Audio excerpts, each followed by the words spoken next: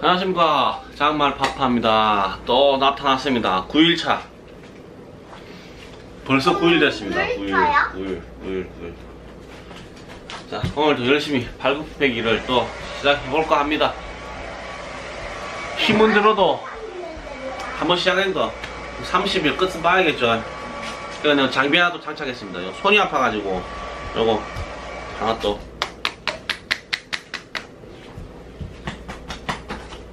자, 바로 시작해보겠습니다. 아, 나 타도 돼? 아직 안 돼. 타도 돼? 아니, 아직 아빠 준비 안 됐어. 시.